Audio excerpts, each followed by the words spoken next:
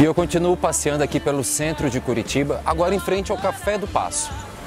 Um dos pontos muito tradicionais aqui de Curitiba, onde todos se encontram para tomar aquele cafezinho da tarde gostoso. Mas também eu quero te fazer mais uma vez o convite. Dia 11 de março a gente vai estar lá no Espaço 37 com um espetáculo dessa e de outras, onde a gente vai estar contando a história do Luca e do Edmar. Aqueles dois rapazes que se conheceram em vidas passadas e estão tentando entender esse amor essa paixão que liga eles no presente. Então você já sabe, dia 11 de março, às 8 horas da noite, lá no Espaço 37, na Avenida Vicente Machado, a gente se encontra por uma história que é desce de outras.